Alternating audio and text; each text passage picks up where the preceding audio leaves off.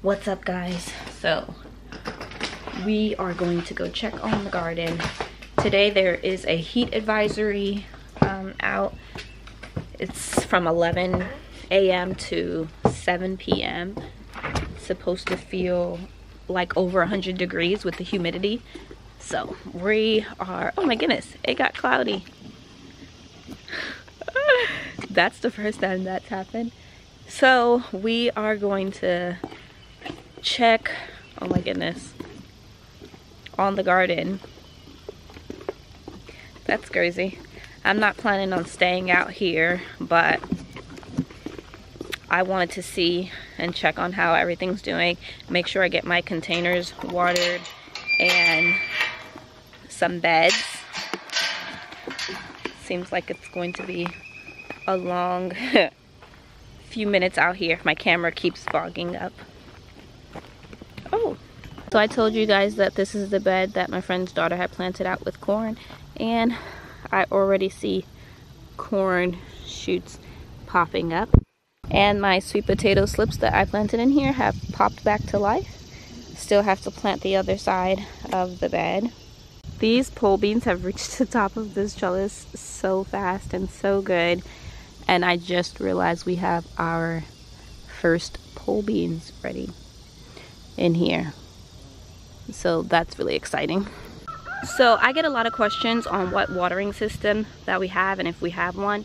And the answer to that always is we do not have one. I use um, our hose and I do have a sprinkler set up um, sometimes on the end of my hose. But then um, other times I just um, it's not sprinkling into like when it's going around it sprinkles the pathways and stuff and I really just wanted to uh, water the garden beds and so for that I take my hose which I'll show you right now and I sit it in the center of a bed and depending on how big the bed is I leave it in there for about 30 minutes or um, you know 10 minutes 15 minutes so this is the end of our hose right here and I just sit it in at the base. We already had it sitting.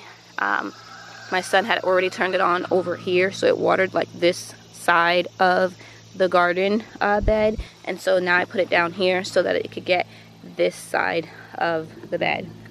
All of these weeds. Weeds, weeds, weeds, weeds, weeds. I still haven't finished pruning the back half of these plants, but I definitely need to get in here and tie these up so maybe I'll go run and get some tape while I'm waiting on that um, hose. What my daughters are doing is taking out the brassicas in that bed that I still had there. We're gonna feed them to our chickens. This weed in here is like, you would think it's a plant and it's not. It's literally like taking over insane. Okay guys, so it is the next day. I spent a lot of time out here yesterday without the camera, just uh, pruning the tomatoes that I showed you guys earlier, as well as tying some up. And my camera's getting cloudy. As well as tying some up. And then I also found two more, what are they called? Tomato hornworms. And you'll be so proud of me. I pulled them off myself with snippers and killed them. And um, I also found though interesting, I found, what is it called? I think they were called army, what were they? I looked it up because I've never seen them. They're like little worms on my tomato plants that look like cabbage worms, but um, that you would find on cabbages, except for they were on my tomatoes and I've never seen that before and so it's so hot out here. Yesterday at 12 o'clock it said it was 100 with the heat index and the humidity it felt like 115 degrees. The sun isn't even out it's just the humidity and it's ridiculous. So you can see right here is where I found the uh, what is it called? The tomato hornworm right here.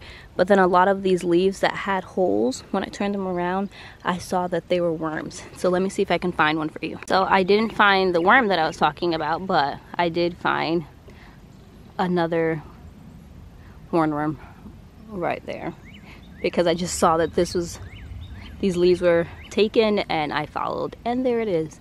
But like down here there's a bunch of holes in these plants and um, I'm sure if I reached my hand in there which I'm not there would be lots of lots of uh, worms. So I am completely missing a cabbage worm somewhere in here between these two plants because this one did not have um, those tomatoes weren't eaten yesterday. And now they are. And I did catch one small one over here. So I have to look and see if I find a bigger one. Because it also goes into the second plant right here. These will be my first ripe tomatoes. But there is a spot right there.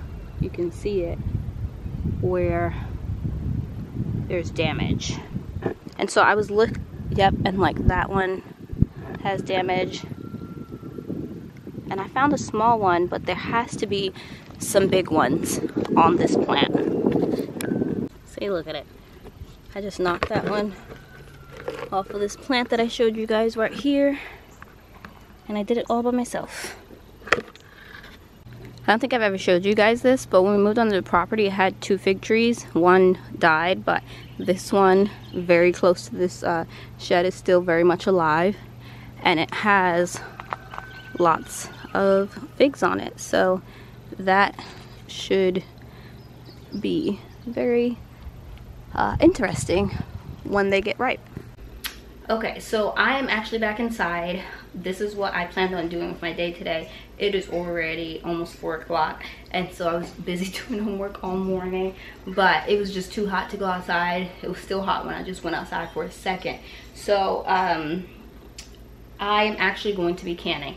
I, on my last grocery haul, bought um, some chicken breast and from Aldi. Uh, it was on clearance, I think, or like markdown. And I also bought some ground beef from Costco because I canned ground beef and chicken for the first time a couple months ago maybe and I've actually loved it. I loved having the ground beef for quick spaghetti dinners or any dinner that calls for ground beef and I'm running low. I think I have maybe one or two. So I bought the beef from um, Costco in order to, to replace that beef. I think altogether it got like maybe 12 or 13 pounds. It's estimated that about a pound goes in each jar. So how many ever pounds I have, that's how many jars I'm planning on canning if I have anything above 12 jars because I think that's how many jars I have of the wide mouth of the wide mouth I'll just use for tonight for dinner. The chicken I have right here sitting, I think it was maybe 10 pounds. And so again, one pound per jar estimated and I've liked that to make, I've made chicken salad with that. Um, it's actually the only thing I've made with that is like chicken salad. Oh no, I used it in Alfredo before. And so it's just a really two good things to have on hand. This will be my second time canning it. And so that's why I'm using store-bought beef instead of like my butcher box ground beef or chicken or anything like that because I'm still practicing and learning and it's much easier to buy um, beef that is on sale or anything like that and that's cheaper than messing up with more expensive cut of beef or chicken. So enough talking. I am actually, the first thing I'm gonna do, so these were frozen and I actually have, I thought I had more boneless chicken breasts, but this is actually only five pounds of um, chicken and so I'm going to have my girls cut them up into cubes and then we'll fill five jars of that and then I'm gonna start browning the beef on the stove and we'll go from there. So the canner that I have is just a canner from Walmart. It was $79 and so I need 12 cups of liquid in here which is three of these jars. So this is not like a tutorial video or anything like that. I'm just showing you what I have going on in the kitchen what I'm doing on this hot day. I know the last video where I was inside, it was a rainy day, but this is also something good to do when it's just too hot to go outside. And this week has definitely been one of those, uh, not one of those, this week has been all of those days where it's just too hot to go outside, where the heat advisory and the heat index is just too high. I think at one point I looked and the humidity was like 99%, um, and then it went down to like 64. And it's also the time where, you know, uh, vegetable plants get sick. I did see that my cucumbers, um, I think it was my, it wasn't my Armenian, it was my Chinese snake. Um, the leaves were getting um, fungus on them. It's just so hot outside and it's that time of year where it rains or sprinkles at least one part of the day. So it could just be like a thunderstorm and it rains for like five minutes. And so applying like those like DE where if it gets wet, it's ineffective for bugs and then you have to start all over. Or if you even apply like BT and stuff like that. After like heavy rains and stuff like that, you have to reapply it. So that's something I've always struggled with with applying those pesticides and stuff is just like trying to find the perfect time like because when I actually need it is the time where it's actually you know raining or um, at least one time per day or sprinkling or just so humid that it feels like rain. So I will be succession sowing all of those things again um, because we do have a long growing season here I think our first estimated frost isn't probably till, I think last year was November 2nd, but it didn't frost until maybe the second week of November. And so with this beef, I'm just browning it. I'm not gonna brown it all the way because once I put it inside of its containers, I will add salt and water and then it will cook in the pressure canner and that will cook it some more.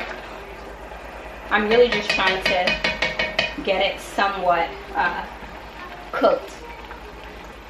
I know I've heard like a lot of people say that they didn't like the consistency of their uh, ground beef when they after they canned it, but I haven't had um, an issue with it, and so I'm gonna do it again. My girls are cutting up the um? The chicken Tomorrow we're going to actually be butchering our meat chickens. Um, this will be our first time butchering our meat chickens. The first time we butchered chickens, it was extra roosters. So my son's just gathering the things that we need for um, for butchering tomorrow. And my husband's outside finishing building our um, the shelter for our male goats. So I'm gonna fill my jars and I have this slotted spoon so I don't get a lot of the oil in it. And I'm going to fill to about the rim right there and then fill the rest with water and then add in a half a teaspoon of salt in each jar. Okay, I got my first batch of ground beef sitting inside the pressure. I'm waiting for it to start uh, shaking so I could put my timer on. I have my other beef that couldn't fit in the canner so I'll have to do two rounds of beef and then maybe one round of the chicken. It's about to start moving. So I can put my timer on. It's right here, this little piece.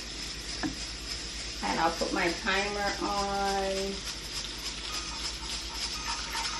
It's for 75 minutes, which is an hour and 15 minutes. Um, yeah, so I'm so happy that I was able to do this and get this done. I don't really like being in the kitchen uh, when I feel like I want to be in the garden, but it's definitely too hot to be outside.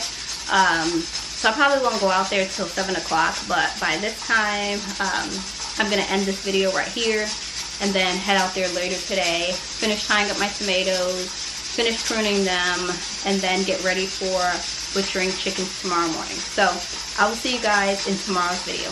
Bye.